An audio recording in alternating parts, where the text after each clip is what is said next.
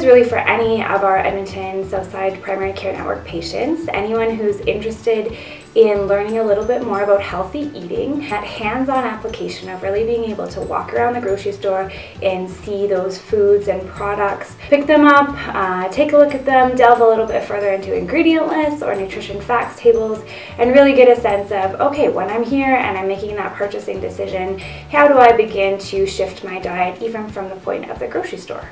We meet at the Millwoods Town Center Co-op and um, that can be a bit confusing. So it's not in the main mall, it's in the grocery store. And typically we meet in front of the customer service desk and the ladies there are always great at helping people find their way.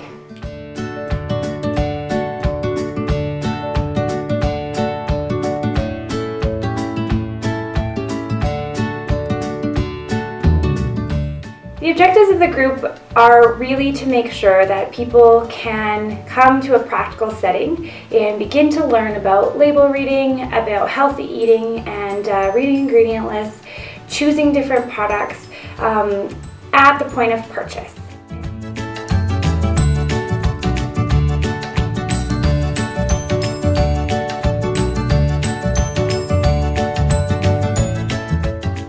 So our group is free and it is a two hour session. We are mostly on our feet for the full two hours, so I do recommend for anyone who um, that might be a concern for, just bringing along your walker or a, a mobility aid, a wheelchair is totally fine.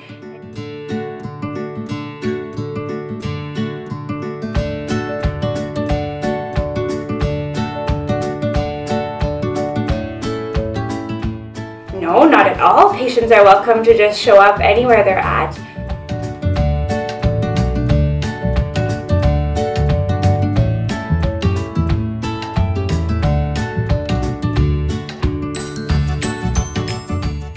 Great course. It's important to have this information. The nutrition facts were extremely helpful and shopping in each section was very informative.